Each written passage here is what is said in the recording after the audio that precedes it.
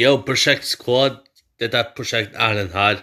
I dag we're gonna watch uh, NF Cup åttendedelsfinalen Bodø mot Tromsø. Så den forrige kampen der Tromsø vant eh, 2-1 over Stabæk, så Tromsø ligger på andreplass. Herlig bra. Så nå møter Bodø på Aspmyra. Oh, fuck me, man. For, eh, foran Glimt møter Tromsø. Det var da Bodø vant 3-2 fordi det var altfor sterkt for Tromsø. They have a good team, men vi møter jo Boligboss, på og um, Ken Dare er ute med skade. Men vi har jo gode spillere og masse unggutter på laget, så jeg tror i hvert fall det kan komme til å funke denne gangen, for Jens Hjertedal spiller fra start. Jakob Høygaard er tilbake, men eh, han spiller ikke fra start. Det gjør Simon Thomas. Så jeg tenker at hvis Tromsø klarer å slå Bolim 2-0 eller 3-1, det ville vært helt supert, og sikre billett til, eh, til kvartfinalen. Er dere klare, folkens? Tid for NM Cup. Bodø mot Tromsø. Here we go. NM Cup åttendedelsfinale. Kom an, Tromsø! Faye Lund står i mål. That's a surprise. And, eh, Kjell Knutsen har valgt opp eh, lagoppstilling. Nå er vi i gang. Kom an, Tromsø! Oh, shit! Marker om, da, gutta! Vakka gå på skudd. Feberredning av Simon Thomas. Hei! Ja, Ole tar Pellegrino! Oh, oh shit. Ah, få det ut, få det ut! Ah. Slappe skrekken. Simon sprang i ball. Herlig bra, Tromsø. Nydelig. Vestlund slår innlegg. Ja da! Jens Hjertedal! Første mål for Troms. Litt, han har skåret forrige kamp. Ops. Men uh, herlig bra. Første mål for Jens Hjertedal.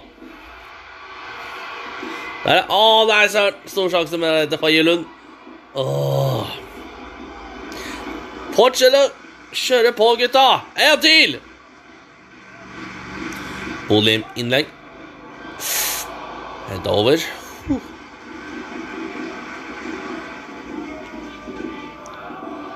Der, ja. Der, ja. Malik. Å, å Mai! Mai! Mai, mai, mai! Why? Åh, skulle ha pirka ned til mål, for fuck's sake.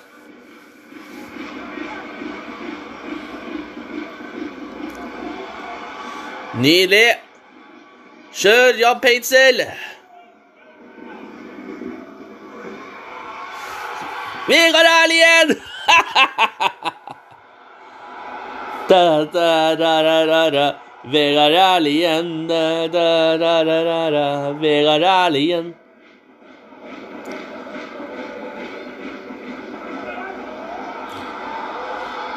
Oh, shit.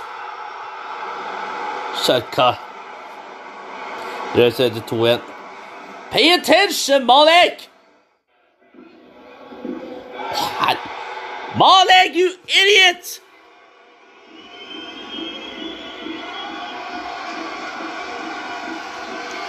Fucking moron, Malik! Rødt.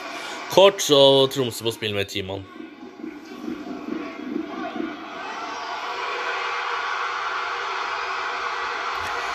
Åh, helvete. Ja, da Bolig forsvarsskårer.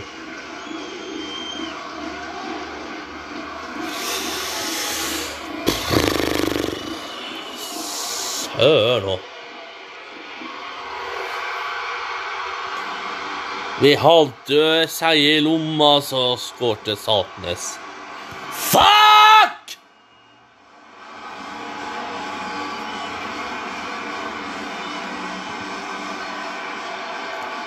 Det der skulle jo ikke skje.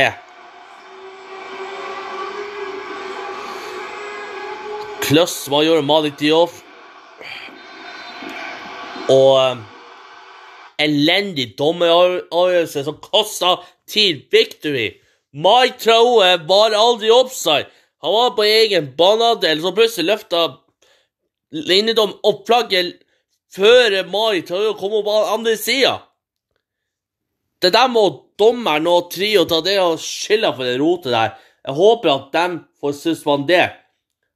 Roy Sagi I defend, defend him once da han fikk flaska i huet. I'm not gonna be a, some dumbass kid who throw the ball. No, a boo or chair. But but that one I can't defend Roy Sagi for you know worst referee of all time. And hopefully han kommer til å sende Bodø ut av cupen tirsdag med resten. Cheating of Bodø. The first Bodø mot Tromsø 3-2. Ja, that was fair victory. Og that one I don't know. Men gratulerer likevel til Bodø. Men uh, hopefully vi møter igjen 30. juli. Da skal TIL få revansj. Teach Bodø a lesson. Don't cheat. Fair victory. Så sånn en The first slag om Nord-Norge. Well, og så Malitjov. Dioff. Etter et par dager Jeg tilgir Malik Dioff. Men det ene tipset er Watch out for red. Ikke for rødt kort. That's the key. Focus on help a teammate to victory every time. And also, um, when it comes to the Eliteserien, draw or most victory to avoid the loss. And, then, and I kept watch the red card. If you get red card, that's over. Eh, ikke akkurat den dagen jeg hadde håpa på, men stolt av Tromsø igjen. Og neste år vi prøver igjen å komme til Ullevål. Og det andre er at målet for Tromsø er, er å være topp fire. Vi er på andreplass, og vi skal fortsette å klatre opp til førsteplass. And secure many, many points.